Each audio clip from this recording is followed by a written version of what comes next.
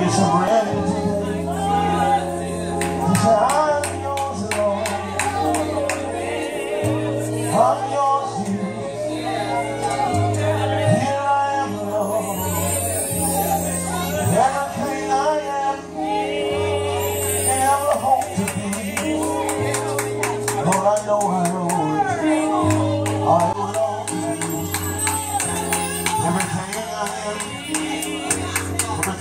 I'm everything I am, everything I've got is yours, yours,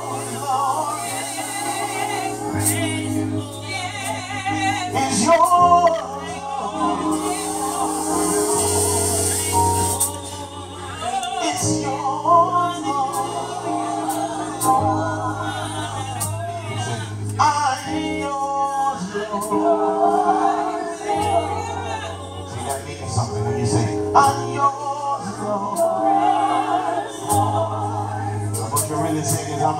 It's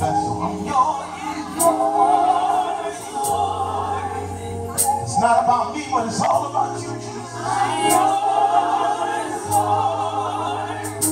I over my life, it was not because I was good or deserving, but simply because of grace and mercy.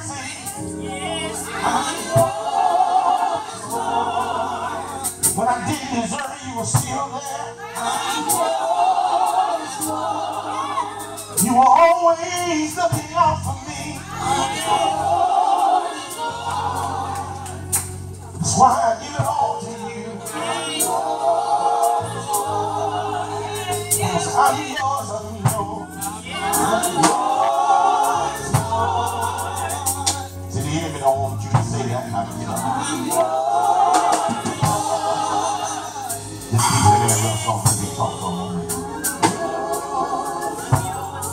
don't want you to start understanding what it means to say, I'm yours, Lord. The enemy don't like the praise, but he understands that, you know, praise is what it is. Even if the Bible says that everything that has breath praises the Lord. But it goes a little further, it doesn't stop there. It says that those that worship must worship in spirit and in truth. And see, when you begin to say things like, I'm yours, Lord, what you're really doing is making a confession of your truth. The truth of the condition of your heart. To say that in spite of what I've been, even, even when I didn't deserve it, when I was a mess and I was a wretch undone, that you still saw the redemptive value in me and it didn't stop you from going to Calvary and dying for my nasty, filthy, stinking sin, even before I even got here. And because of that kind of love, we should come to a place of understanding where we say, you know what? Not only do I love you, but Lord, I owe you. I don't owe you just a little bit. I don't just owe you a, a hallelujah or a, a thank you, Jesus, or just an amen. I owe you everything. Because if, it had not been for you, I wouldn't be here. I wouldn't have life, health, strength, the activity of my limbs. See, a lot we take things for granted. You don't even know the cost of your praise and worship. If you got in a place where you couldn't lift a hand, you were ever in a place where you wanted to say hallelujah or thank you Jesus and, and you couldn't speak, it would take on a totally different meaning. So to be in this house today, a day where the world is set aside to celebrate Christ's resurrection, we have to begin to ex examine how we're living and what we're doing. Because if we do anything less than everything, let me say that again. If we're doing anything less than everything to bring glory to his name, we need to do better. that may be hard to accept or digest for some of us because we truly feel like we're doing all we can. But if we be honest with ourselves, even when we feel like we've done all, there's still room. And I say that not to discourage you, but to encourage you. Why? Because we have to continue to press. We have to remember that we are not our own. You don't belong to you. Every one of us in here were bought with a price.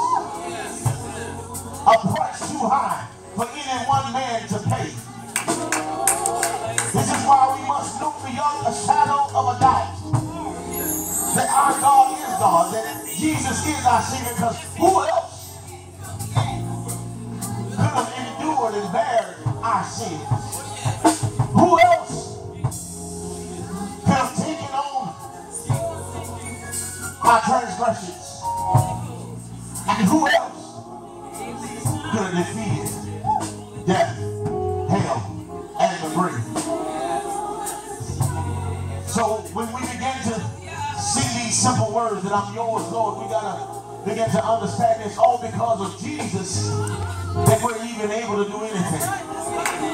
Your abilities, your skill, or some of us think we're smart, your intellect, you didn't get it by yourself. It was because of God's divine design for your life. So don't fool yourself and think that you all that because I'm telling you, without God, you're nothing.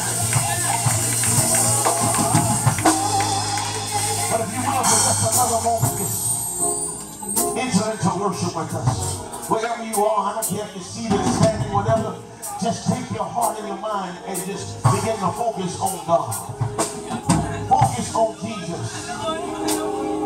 Oh my God. The Passover lamb. The lamb that was slain. Ah. The lamb that shed his blood to take away sins of the world. Nobody but Jesus.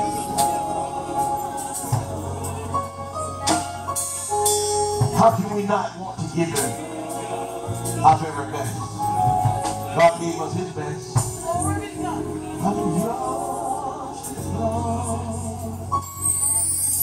Will you mean it from your heart and say, I'm yours,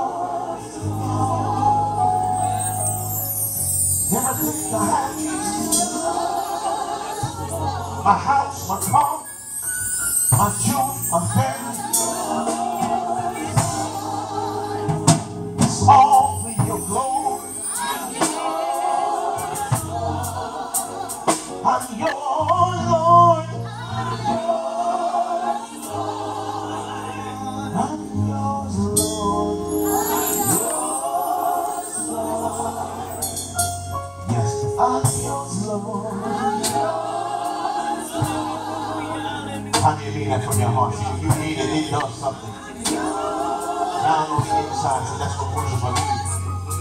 Worship is not what you say out your mouth, it's what you mean with your heart. Because the reality is we can fix our mouths and say a whole lot of stuff. But it's not until you mean it with your heart that it takes value, that it takes precedence, that it has weight. Let me ask you something real quick. When is the last time your worship carried weight? Somebody trying to understand what I'm talking about. The Bible declares that when we begin to go into worship, that the worship of the saints, the real saints, will cause the glory of God to show up. The Bible also records that glory carries a specific weight. It refers to the weight of glory. Do you understand that when you begin to praise God and when you begin to worship Him, the Bible records one particular incident in the Old Testament. It says that when they, they got to the east end of the altar, and it says that the trumpeters and, and, and all the musicians began to make a joyful noise and one sound being heard unto heaven. And it said that the glory cloud began to fill the place in such a way that even the priests were not able to minister. See, that's what happens when your worship reaches a certain place. It begins to bring in and invoke the very presence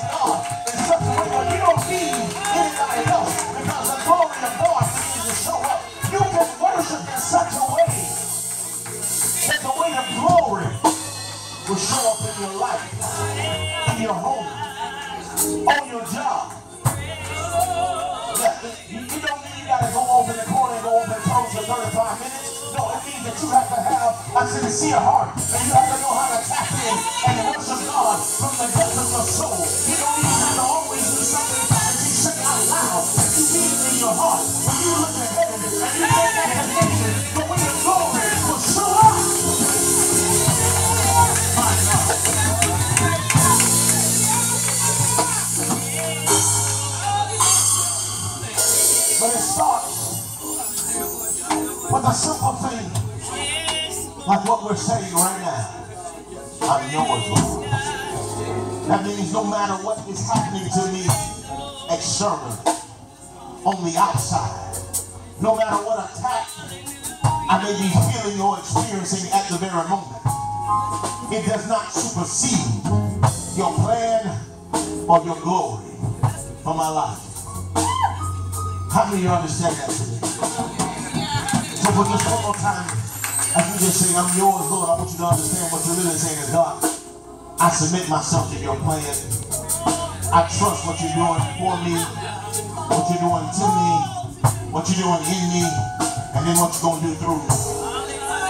See, we gotta understand, a lot of us, we say, oh God, just use me, use me. But see, here's the thing is God can't use you until you first yield it. God is not trying to send you out like a renegade. As we would say, as old cliches would say, as a proverbial bull in a china shop. You know what would happen if you turn a bull loose in a china china shop? He what? He'd break up and damage everything. Some of us are like that because we, we think that we're ready, but God says you're not yet humbled and submitted. I say, I'm not trying to throw you ways in, but I'm trying to cultivate what I put in you. How many know God places things in us? From the time of our conception and our birth, God has a divine plan for our lives. But so often, we make choices that try to derail it. But the thing I love about God is even when we are in the place where we think we've messed up and gone too far, that we're unredeemable, you know, I laugh because I preached this one time, you know, the world think they created recycling, but you know, that's really God's plan.